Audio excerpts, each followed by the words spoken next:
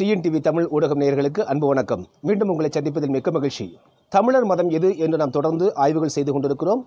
இது ஒரு காணொளியிலோ ஒரே ஒரு இதுதான் தமிழர் மதம். இது வைணவம் தமிழர் மதம் சைவம் தமிழர் மதம் என்றெல்லாம் நாம் கூறிவிட முடியாது. தமிழர் மதம் என்பது என்ன? தமிழர்களுடைய உண்மையான மதக் கோட்பாடு அவர்களிடம் இருந்ததா? சமய கோட்பாடு என்ற அமைப்பு இருந்ததா? என்பதுதான் முதலில் அடிப்படையாக நாம் பார்க்க வேண்டியது. உண்மையை சொல்லப்போனால் இந்த வை- வைணவம் சைவம் என்றெல்லாம் தோன்றியதற்கு முற்காலத்தில் வந்து தமிழர்களுடைய அடிப்படையாக இருப்பது வந்து எந்த விதமான மதக் கோட்பாடுகளும் சமய கோட்பாடுகளும் கிடையாது என்பதுதான். ஏனென்றால் ஆ, நான்கு வகை நிலங்கள் ஐந்திணைகளுக்கு வந்து ஐந்து கடவுள்களை அவர்கள் வழிபட்டிருக்கிறார்கள். வந்து ஒரே கடவுள் என்று கூறுகிறது இந்து மதம் என்ன சொல்கிறது? குறிப்பாக இந்துத்துவம் என்ப என்ன என்ன சொல்கிறது? ஒரே நாடு ஒரே தேசம் என்றெல்லாம் சொல்கிறது. பல்வேறு கடவுள்களை எல்லாம் தங்களுக்குள் உள்ளடக்கி கொண்டு ஒரே மதம் என்று சொல்கிறது. ஆனால் உண்மையில் வந்து தமிழர்களுடைய ச வரலாற்றை சங்க காலத்திற்கு முற்பட்ட வரலாறுகளை எல்லாம் பார்க்கும் பொழுது ஐந்தனை கடவுள்களில் ஐந்து கடவுள்களை தங்கள் தனித்தனியே வணங்கியிருக்கிறார்கள். ஒன்றுக்கொன்று முரண்பாடுகள் கிடையாது. எல்லாவற்றையும் ஒன்று சேர்த்து ஒரு மதம் என்கிற கோட்பாடு அங்கே கொண்டு வரப்படவில்லை. அப்படிப்பட்ட ஒரு வாழ்க்கையைத்தான் இவர்கள் வாழ்ந்திருக்கிறார்கள் என்பதுதான் அடிப்படை. ஆனாலும் கூட இன்னும் நாம் அந்த மதம் என்ற கோட்பாடு தம்முடைய வழிபாட்டு முறைகளை எல்லாம் நாம் அறிந்து கொள்வதற்கு மிக முக்கிய தேவையாக நாம் இந்த பதிவுகளை நாம் இட்டு வருகிறோம். இப்பொழுது வந்து பார்த்தீங்கன்னா இது பற்றிய ஆய்வுகள் எல்லாம் குறிப்பாக தமிழ் தேசியர்கள் வந்து அதிக அளவில் வந்து இது பற்றியெல்லாம் வெளிக்கொண்டு வரும்போது தற்பொழுது ஆரிய ஆதரவாளர்கள் என்ன செய்கிறாங்க அப்படின்னா இப்பொழுது அவர்களும் காணொளிகள் வெளியிடுகிறார்கள். இந்து அப்படின்னு சொன்னால் என்னை பொறுத்த வரைக்கும் அது மதம் அப்படின்னு சொல்கிறத விட கலாச்சாரம் என்ற சொல் ரொம்ப பொருத்தமாக இருக்கும் இந்து அப்படிங்கிறதுக்கு. ஆக இந்த இந்து கலாச்சாரத்தில் சைவம் வருமா வைஷ்ணவம் வருமா அப்படின்னு கேட்டால் கட்டாயமாக வந்து இதெல்லாம் சேர்ந்து தான் வந்து இந்து பண்பாடு அப்படின்னு நம்ம சொல்லணும். இப்போது இந்து அப்படிங்கிறதுல பொதுவாக சொல்லப்படுறது சனாதன தர்மம் அப்படின்னும் வைதிக தர்மம் அப்படின்னும் நாம் சொல்கிறோம் இந்த வைதிக தர்மம் அப்படின்னு சொல்கிறது வேதத்தை ஏற்றுக்கொண்ட தர்மம். ஆக இப்போ சைவம் வந்து இந்துவா அப்படின்னா அதுக்கு முன்னாடி சைவம் என்பது வைதீகமா என்ற கேள்வியை வந்து நாம் வந்து வைக்கணும். அப்படி பார்க்கும்போது தமிழ்நாட்டில் இருக்கக்கூடிய சைவம் அப்படிங்கிறது சைவ சித்தாந்தம். இதையே வந்து வைதீக சைவ சித்தாந்தம் அப்படின்னு தான் பெயர் கொடுத்துருக்காங்க. இந்த சைவ சமயத்தை அனுஷ்டிக்கக்கூடியவர்கள் பா பின்பற்றக்கூடியவர்கள் அதன் வழியில் செல்பவர்கள் தெளிவாகவே இதை வைதீக சமயம் என்றுதான் கூறுகிறார்கள். இது எந்த காலத்தில் இருந்து அப்படின்னு பார்த்தா சங்க இலக்கிய காலங்களில் இருந்தே சைவம் வந்து தமிழகத்துக்கு வைதீக சமயமாகத்தான் இன்ட்ரடியூஸ் ஆயிருக்கு அப்படின்னு நம்ம சொல்லணும். என்ன காரணம் அப்படின்னா நம்ம வேதங்களில் வந்து ருத்ரன் அப்படிங்கிற பெயர் காணப்படுது. ஸ்ரீருத்ரம் உண்டு. அதில் தான் நமக்கு வந்து சிவன் அப்படிங்கிற பேர் வந்து நமக்கு கிடைக்குது. முதல்ல இந்த சிவ அப்படிங்கிற சொல் தமிழ் சொல்லா அப்படின்னு பார்த்தா கட்டாயமாக இல்லை. அப்போது இந்த சைவம் அப்படிங்கிற சொல்லும் பார்த்தீங்கன்னா தமிழ் இல்லை. ஆக இது தமிழருக்கு மட்டுமான மதம் அப்படின்னு சொல்றதே முதல் பாயிண்ட்லேயே வந்து அடிபட்டு போயிடுச்சு ஏன்னா இதெல்லாம் உல்டாவாக நீங்கள் நன்றாக கவனித்து பார்த்தால் இந்த ஆரிய ஆதரவாளர்களுடைய அனைத்து எடுத்துக்காட்டுகளுமே அனைத்து இவர்கள் வைக்கக்கூடிய முன் வாதங்களுமே எப்படி இருக்கும் என்றால் பே மணியரசனையை அடிக்கடி சொல்வார்கள். வந்து முதலில் வந்து வ- ஒரு ஒரு கிழவி. அந்த கிழவிக்கு ஒரு மகள் அந்த மகளுக்கு ஒரு பேத்தி இருந்தது என்று சொல்வதுதான் இயற்கையினுடைய ஒப்பானது. ஆனால் இவர்கள் எப்படி கூறுவார்கள் என்றால் பேத்திக்கு பிறகுதான் கிழவியே தோன்றியதாக பிறந்ததாக கூறுகிறார்கள் என்பதுதான் இந்த அடிப்படையான இவருடைய வாதமாக இருக்கிறது. அந்த அடிப்படையில் நீங்கள் வந்து பார்த்தீங்கன்னா இவர்கள் எல்லாமே உல்டாவாக சொல்லுவாங்க. ருத்ரன்லேருந்து சிவன் வந்ததாக சொல்லுவாங்க. விஷ்ணுவிலிருந்து க வந்து மாயோன் வந்ததாக சொல்லுவாங்க. இதெல்லாம் இருக்கிறது. இதெல்லாம் இது இவற்றையெல்லாம் நாம் அறிந்து கொள்வதுதான் இந்த அடிப்படையாக இந்த பதிவினுடைய நோக்கமாக இருக்கிறது. இதற்கு அடிப்படை அடிப்படையாக நீங்கள் வந்து பார்த்தீங்கன்னா நம் காலத்தின் பின்னாடி நோக்கி செ- செல்ல வேண்டியது அவசியம். நம்முடைய தமிழனுடைய அடிப்படையான நம்முடைய கோட்பாடுகள் எப்படிப்பட்டதாக இருந்தது என்று பார்க்கும் பொழுது தான் வந்து பார்த்தா மாயோன் மேய காடொரி உலகம் சேயோன் மேய மைவரை உலகம் வேந்தன் மேய தீம்புணல் உலகம் வருணன் மேய பெருமணல் உலகம் முல்லை குறிஞ்சி மருதம் நெய்தல் என சொல்லிய முறையில் சொல்லவும் படுமே. இது தொல்காப்பியம். நீங்கள் தொல்காப்பியத்தை பொறுத்த வரைக்கும் வந்து பார்த்தீங்கன்னா இன்றிலிருந்து ஐந்தாயிரத்திலிருந்து பத்தாயிரம் ஆண்டுகளுக்கு முற்பட்ட உலகின் மிக பழமையான ஒரு அருமையான ஒரு அனைத்து மொழிகளுக்கும் அனைத்து உலக உலகத்திற்குமான இலக்கணங்களை வகுத்த ஒரு நூலாக இருக்கிறது. இந்த தொல்காப்பியம் என்பதே வந்து பார்த்தீங்கன்னா ஒரு தொகுப்பு நூல் இலக்கண நூல். உலகத்திலேயே தமிழில் மட்டும்தான் இலக்கியங்கள் முதலில் தோன்றி அதன் பிறகு இலக்கணங்கள் தோன்றின. ஆனால் உலகினுடைய பிறமொழிகள் எல்லாம் நீங்கள் வந்து பார்த்தீங்கன்னா முதலில் இலக்கணம் எழுதப்பட்டு அதற்கு பிறகுதான் இலக்கியங்கள் தோன்றி இருக்கின்றன. இது வந்து யாரும் மறுக்க முடியாத ஒன்று. அப்படி பார்க்கும் பொழுது இந்த இலக்கியங்களுக்கெல்லாம் இந்த இலக்கணம் தொல்காப்பியம் என்ற இலக்கணம் தோ- தோற்றுவிக்கப்பட்டதற்கு முன்பாகவே வந்து பார்த்தீங்கன்னா பல பத்தாயிரம் ஆண்டுகள் தமிழிலே வந்து இலக்கியம் செழுமையுற்றிருக்கிறது நாகரிகம் செழுமையுற்றிருக்கிறது வழிபாடு இருந்திருக்கிறது. மக்கள் நாகரிகமாக ஒரு மிகுந்த நுண்ணறிவோடு இருந்திருக்கிறார்கள் என்பதையெல்லாம் தொகுத்து சொல்லக்கூடிய நூலாகத்தான் தொல்காப்பியம் இருக்கிறது. எனவே இந்த தொல்காப்பியம் கூறும் இந்த தமிழருடைய வழிபாட்டு முறைகளும் இந்த தமிழருடைய வந்து வாழ்வியல் முறைகளும் வந்து பார்த்தீங்கன்னா அதற்கு முன்பாக பல பத்தாயிரம் ஆண்டுகள் முற்பட்டவை என்பதை முதலில் நாம் புரிந்து கொள்ள வேண்டும். இதன் பிறகு இந்த தொல்காப்பியத்தினுடைய இலக்கணங்களை எல்லாம் முழுமையாக தன்னுள் எடுத்துக்கொண்டு ஒரு இயற்றப்பட்ட நூல்தான் திருக்குறள் என்று நாம் என்று அழைக்கக்கூடியது. இதன் பெயர் அந்த திருக்குறள் இல்லை. இது பற்றி வந்து பார்த்தீங்கன்னா செந்தமிழ் அந்தனர் இளங்குமணர் இளங்குமரனார் வந்து அழகாக சொல்லியிருக்காங்க. என்ன சொல்லியிருக்காங்க அப்படின்னா இது வந்து முழுக்க முழுக்க வந்து தொல்காப்பியத்தை அடிப்படையாக கொண்ட ஒரு முறையாக எழுதப்பட்ட நூல் என்பதால் இது தொல்காப்பியத்திற்கு பிந்தைய உடனே வந்த நூல். அது சற்றேறக்கூடிய சில நூறு ஆண்டுகளுக்கு பின்பு வந்த நூல். ஆனால் சங்க இலக்கிய காலத்திற்கு பிற்பட்ட நூல் அல்ல. அதை வந்து லேட்டஸ்ட் புத்தகம் கிடையாது. பல பேர் என்ன சொல்கிறாங்கன்னா ஒன்பதாம் நூற்றாண்டில் எழுதப்பட்டது என்றதெல்லாம் ஒரு க- கதை எழுந்து கொண்டிருக்கிறார்கள். அதெல்லாம் கிடையாது. என்ன காரணம் அப்படின்னா தொல்காப்பியம் என்னவெல்லாம் ஒரு இலக்கணத்தை வகுத்ததோ அதே இலக்கணத்தோடு வகுக்கப்பட்ட நூல் தான் திருக்குறள் என்பதை அவர் வந்து தெள்ள தெளிவாக கூறுகிறார். ஆக நாம் நம்முடைய வரலாறு எப்படி திரிக்கப்பட்டிருக்கிறது எப்படியெல்லாம் சிதைக்கப்பட்டிருக்கிறது என்பதை நாம் முதலில் புரிந்து கொள்ள வேண்டும். எனவே தான் நாம் அங்கிருந்து தொடங்குகிறோம். எனவே பல பத்தாயிரம் ஆண்டுகள் வரலாற்றை தொகுப்பு நூலாக எழுதிய முதலில் தொல்காப்பியமும் அதற்கு பின்பு வந்த திருக்குறளையும் தான் நாம் ஏன் போற்றி கொண்டாடுகிறோம் கொண்டாடுகிறோம் என்றால் இதற்கு காரணம் இதுதான். இந்த தொல்காப்பியத்திலும் திருக்கு திருக்குறளிலும் நிறைய இவர்கள் பிற்சேர்க்கைகளையோ ஒரு இணைப்பையோ துண்டிக்க முடியவில்லை. இவர்கள் எதையும் அது பெரிய மாற்றத்தை கொண்டு வர முடியவில்லை என்பதும் வந்து அது தொல்காப்பியரும் திருவள்ளுவரும் எவ்வளவு நுணுக்கமாக நாளை பிற்காலத்தில் இதை சிதைப்பார்கள் இதை வந்து மாற்றுவார்கள் என்பது பற்றியெல்லாம் அறிந்திருந்து அவர்கள் வந்து மிக நுட்பமாக அந்த நூல்களை வகுத்திருக்கிறார்கள் என்பதை நாம் பார்க்க வேண்டும். எனவே தான் அவற்றை நாம் வந்து நாம் எடுத்துக்காட்டாக நாம் எடுத்துக்கொள்ள முடிகிறது. அந்த வகையில் வந்து பார்த்தீங்கன்னா மலையும் மலை சார்ந்த இடத்திற்கு வந்து முருகனும் காடும் காடும் சார்ந்த இடத்திற்கு வந்து மாயோனும் அதே போல் வந்து வயலும் வயல் சார்ந்த இடத்திற்கு வந்து வேந்தனையும் க- கடலும் கடல் சார்ந்த இடத்திற்கு வருணனை எல்லாம் வந்து கடவுளாகவும் அதே போல் கொற்றவை என்ற ஒரு தெய்வத்தையும் இங்கே குறிப்பிடுகிறார்கள். கொற்றவை என்பது வந்து பார்த்தீங்கன்னா தனியாக ஒரு நிலம் இல்லை இல்லை. ஆனால் இந்த காடும் காடு சார் மலையும் மலை சார்ந்த இடம் காடும் காடு சார்ந்த இடமும் திரிந்து மழையற்று போய் அது வறண்டால் அந்த இடம் காலை நிலம் என்று குறிப்பிடுகிறார்கள். சிவன் கொற்றவை முருகன் ஆகியவெல்லாம் நன்றாக கூர்ந்து கவனித்து பார்த்தால் அவை வந்து முழுக்க முழுக்க மலைக்கடவுள்.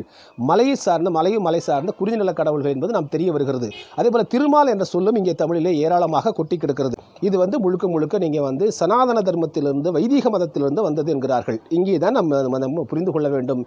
இவர்களே சொல்லக்கூடியது வைதிக மதம் என்பது தமிழர் மதம் அல்ல என்பதை தெள்ளத் தெளிவாக இவர்கள் குறிப்பிடுகிறார்கள். ஹிந்து என்பது மதம் அல்ல. இதைத்தான் நம்ம ஆரம்பத்திலிருந்தே சொல்லிட்டு இருக்கிறோம். தொடர்ச்சியாக சொல்லிக் கொண்டிருக்கிறோம். ஹிந்து என்பது மதம் அல்ல. ஆனால் அது ஒரு வாழ்வியல் முறை என்கிறார் இவர்.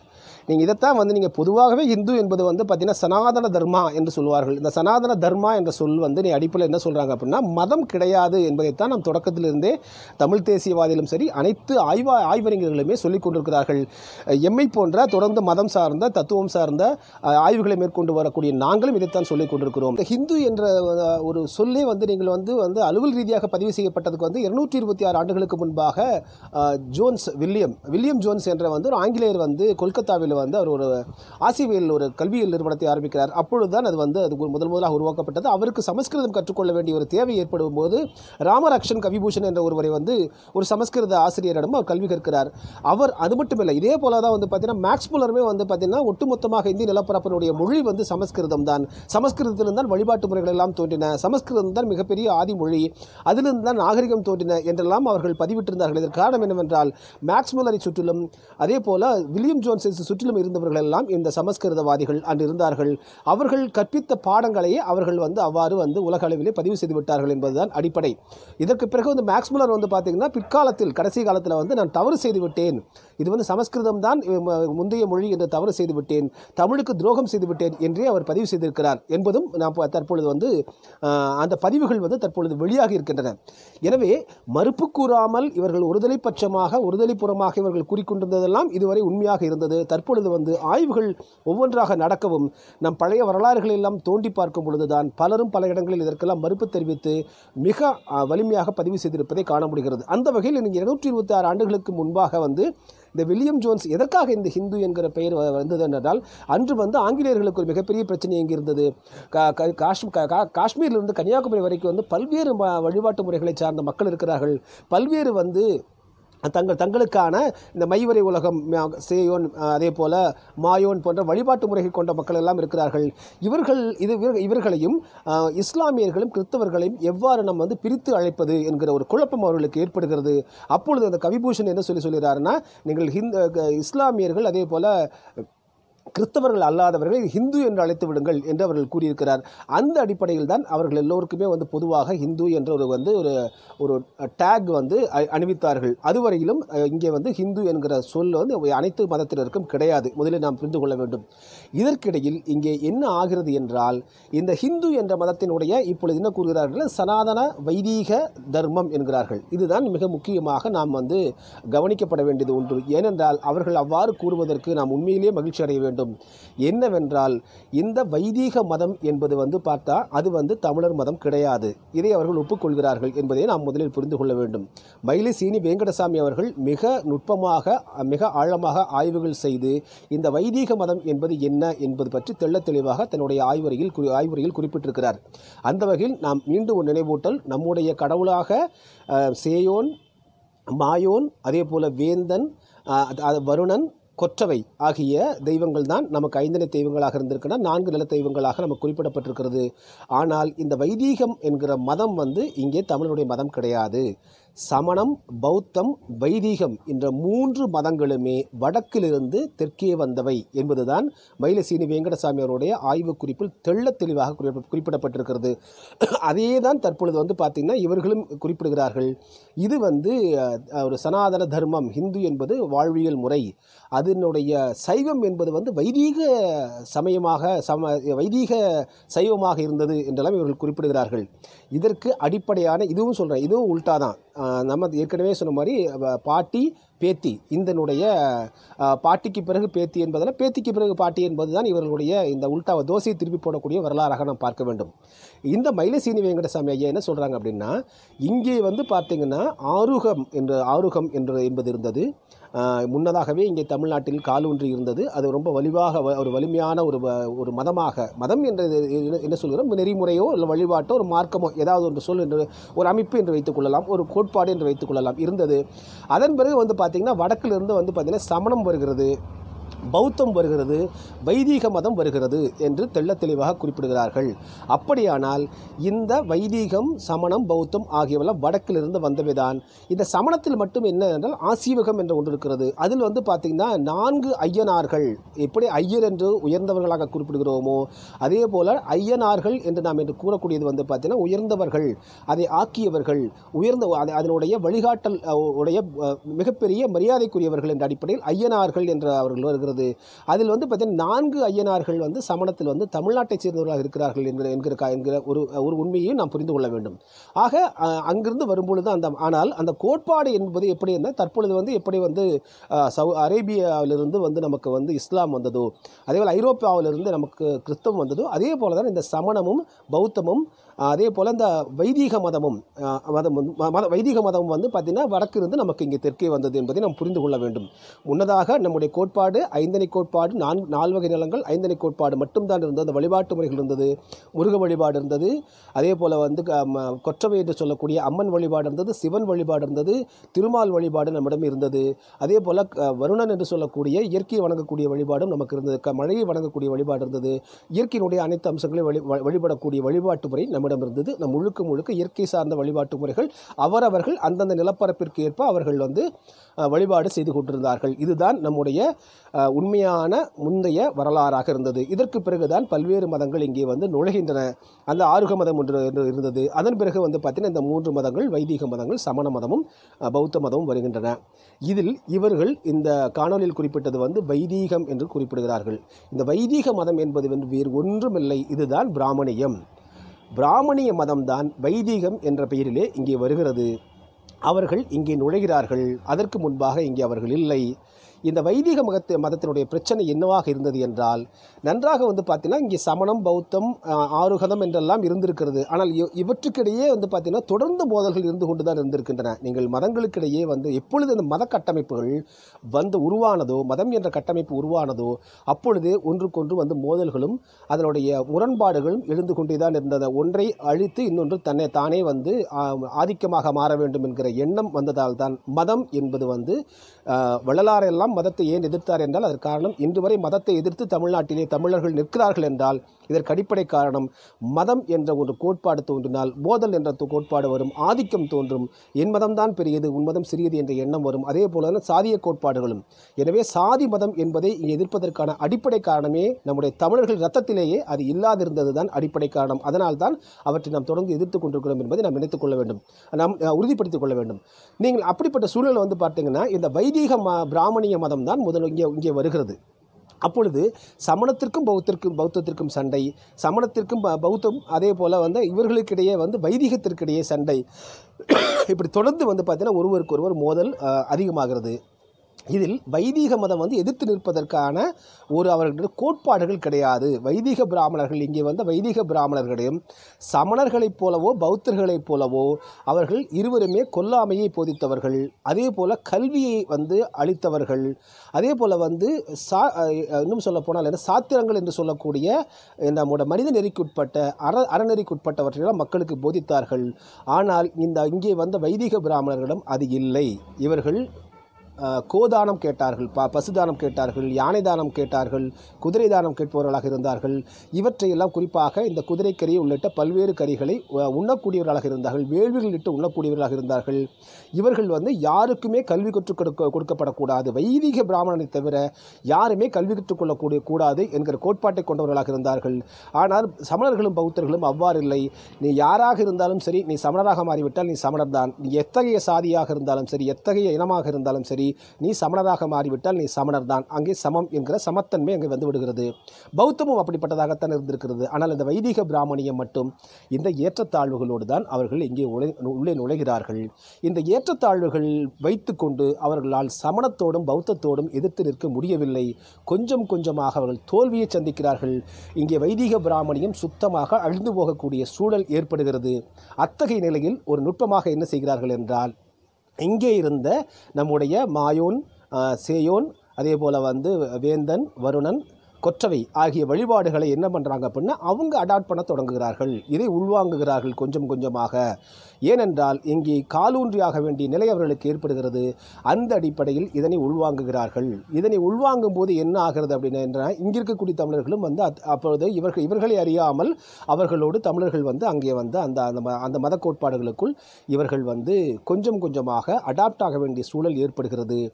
இவர்கள் என்ன செய்கிறார்கள் என்றால் புதிய புதிய கதைகளை உருவாக்குகிறார்கள். நீங்கள் நேரடியாக நீங்கள் வந்து மாயோனுக்கும் சேயோனுக்கும் கொற்றவைக்கும் சிவனுக்கும் திருமாலுக்கும் நீங்கள் நேரடியாக நீங்கள் எப்படி நீங்கள் வைதிக வைதிக பிராமணியத்தை நீங்கள் இணைக்க முடியும் என்பதற்காக புது புது கதைகளை உருவாக்குகிறார்கள். எப்படி கதைகளை உருவாக்குகிறார்கள் என்றால் ருத்ரனிலிருந்து தான் சிவன் வந்தது விஷ்ணுவிலிருந்து தான் மாயோன் வந்தது காளியிலிருந்தும் அதே போல் துர்க்கையிலிருந்து தான் இங்கே வந்து கொற்றவை வந்தாள். இப்படி சுப்பிரமணியன் என்பதுதான் முருகனானது என்றெல்லாம் இவர்கள் ஒவ்வொரு கடவுளுக்கும் நீங்கள் ஐயப்பன் வந்து பார்த்தீங்கன்னா ஆக்சுவலாக ஐயனார் என்று குறிப்பிட்டேன் இல்லைங்களா? ஐயனார் என்றால் அது வந்து சமண மதத்தைச் சேர்ந்த ஐயனார்கள் என்று குறிப்பிடக்கூடியது. சாத்தன் என்பதுதான் பின்னர் அவர்கள் இஸ்ஸு சேர்த்துக்கொண்டு சாஸ்தாவாக்குகிறார்கள். இவ்வாறு ஒவ்வொன்றுக்கும் இடையில் இஷ்ஷு இஸ்ஸு இச்சு இத்து இதெல்லாம் சேர்த்து சேர்த்து சேர்த்து வந்து பார்த்திங்கன்னா கொஞ்சம் கொஞ்சமாக இவர்கள் வந்து தன்னுடைய வைணவ ஒட்டுமொத்தமாக தமிழர்களுடைய வழிபாட்டு முறைகளை தமிழர்களுடைய நெறிமுறைகள் வாழ்வியல் முறைகளை வாழ்வியல் முறைகளை வந்து இவர்கள் வந்து என்ன செய்கிறார்கள்? வைன வைதீகமாக மாற்றுகிறார்கள். இதன் பிறகு இந்த வைதீக மதத்தைத்தான் இவர்கள் கொஞ்சம் கொஞ்சமாக ஆட்சி அதிகாரங்களிலும் இவர்கள் அங்கே போய் அமர்ந்து கொண்டு அதன் பிறகு இருநூற்றி இருபத்தி ஆறு ஆண்டுகளுக்கு முன்பாக இந்த வில்லியம் ஜோன்ஸ் காலத்தில் வந்து பார்த்தீங்கன்னா ஹிந்து என்கிற ஒரு சொல்லை உருவாக்கி அதை அனைத்தையுமே ஒரே குடையின் கீழ் கொண்டு வருவதற்கான முயற்சிகள் தொடர்ந்து ஈடுபட்டு ஈடுபட்டு அது ஹிந்துத்துவ அரசியலாக மாற்றம் பெறுகிறது. ஆக இவர்கள் தங்களை நிலைநிறுத்திக் கொள்வதற்காகவும் சைவத்தோடும் சமணத்தோடும் பௌத்தத்தோடும் போட்டியிட்டு தங்களை நிலைநிறுத்திக் கொள்வதற்காக இந்த பிராமணியம் வைதீக பிராமணியம் ஊடுருவியதுதான் நம்முடைய தமிழர் மரபுக்குள் ஊடுருவியது. இதைத்தான் பிற்காலத்தில் அவர்கள் சைவம் வைணவம் என்று மிகப்பெரிய மத கோட்பாடுகளாக உருவாக்குகிறார்கள். உருவாக்கி கொண்டுதான் சமணத்தையும் பௌத்தத்தையும் இவர்கள் அழித்தார்கள். ஆக இங்கே தமிழர் மதமாக முழுக்க முழுக்க சந்திரமுகியாக மாறி நிற்பது வந்து இந்த வைதீக சனாதன தர்மம் என்பதை நாம் புரிந்து கொள்ள வேண்டும். எனவே தான் நாம் குறிப்பிடுகிறோம் நாங்கள் இந்துக்கள் அல்ல என்று தொடர்ந்து குறிப்பிடுகிறோம். அதைத்தான் தற்பொழுது வந்து இவர்களுக்கு அச்சம் ஏற்பட்டுவிட்ட காரணத்தால் தற்பொழுது என்ன சொல்கிறார்கள் என்றால் ஹிந்து என்பது மதம் அல்ல அது ஒரு சனாதன தர்மம் என்கிறார்கள். அது வைதீக சைவத்தோடு தொடர்புடையது என்கிறார்கள். ஆனால் சைவத்தின் சைவத்தை வந்து இன்று போற்றக்கூடிய சைவ மக்கள் என்றுமே தங்களை வைதீகர்கள் என்று அழைத்துக் கொள்வதில்லை. எனவே தமிழர்களுக்கென்று தனி வழிபாட்டு முறைகள் இருந்தது. அது மோதலோடு கூடிய மத வழிபாடு கிடையாது. ஆக்கிரமிப்பு ஆக்கிரமிக்கும் எண்ணங்கள் கிடையாது என்பதை நாம் புரிந்து கொள்ள வேண்டும். எனவே இவர்கள் உள்ளே புகுந்துதான் இந்த மத வேறுபாடுகளை உருவாக்கி கொண்டு விட்டார்கள். முருகன் தமிழர்களுடைய கடவுள் சிவன் தமிழர்களுடைய கடவுள் திருவா திருமால் தமிழருடைய கடவுள் வேந்தன் தமிழோட திருமால் திருமால் கடவுள் கொற்றவை என்று சொல்லக்கூடிய அம்மன் வழிபாடும் நம்முடைய தமிழர்களுடைய கடவுள்கள் தமிழுடைய வழிபாட்டு முறைகள். இதற்கு இவர்கள் இட்டுக்கொண்ட பெயர்தான் சனாதன வைதீகம் என்பது. அது சைவமோ வைணவமோ அல்ல. அதற்கு ஊடுருவியதால் இவர்கள் சொல்ல சொன்னது. எனவே நம்முடைய கடவுளர்களை இவர்கள் களவாடி கொண்டு விட்டார்கள். அதற்கு இவர்கள் பெயர் வைத்து கொண்டு விட்டார்கள் என்பதை இந்த காணொளி வாயிலாக நாம் பதிய வைக்க விரும்பினோம். தொடர்ந்து தமிழர் மதம் எது என்பதை பார்ப்போம். இதற்கான அடுத்த கட்டமாக மக்கள் வந்து எப்படி இதெல்லாம் நாம் புரிந்து கொண்டு செயல்பட வேண்டும் என்பதையும் பார்க்கவிருக்கிறோம். மீண்டும் உங்களை சந்திக்கிறேன். நன்றி அன்பு வணக்கம். டிஎன்டிவி தமிழ் ஊடகம். தனித்துவமான தமிழ் ஊடகம். இப்போதே சப்ஸ்கிரைப் செய்யுங்கள். உங்கள் டிஎன்டிவி தமிழ் ஊடகம் யூடியூப் சேனலை